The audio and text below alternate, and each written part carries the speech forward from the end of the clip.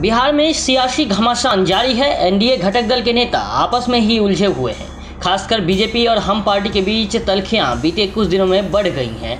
दोनों पार्टी के नेता इशारों इशारों में एक दूसरे पर निशाना साध रहे हैं। इसी सियासी गहमा गहमी के बीच जेडीयू ने एनडीए के सामने ऐसी मांग रख दी है कि जिससे सूबे की राजनीति का पारा चढ़ गया है।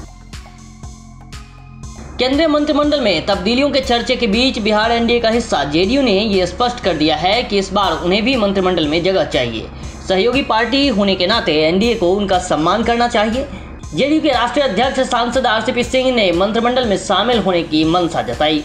जेडीयू सुप्रीमो आरसीपी सिंह ने कहा, केंद्रीय मंत्रिमंडल के विस्तार की चर्चा हमने भी सुनी है। जेडीयू भी एनडीए गठबंधन का सहयोगी है। ऐसे में जब भी विस्तार हो तो मंत्रिमंडल में जेडीयू को हिस्सेदारी मिलनी ही चाहिए। गठबंधन में एक दूसरे को मान सम्मान मिलना ही चाहिए। एनडीए के जितने भी घटक दल हैं, मंत्रिमंडल में उनकी हिस्सेदारी होनी चाहिए।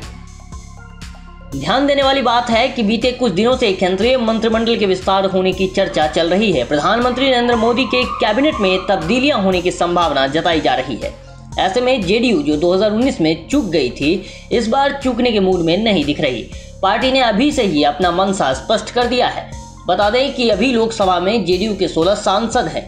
पिछली बार कैबिनेट विस्तार के समय जेडीयू कोटे से आरसीपी सिंह के मंत्री बनने की बात थी, लेकिन आखिरी समय में बात नहीं बनी।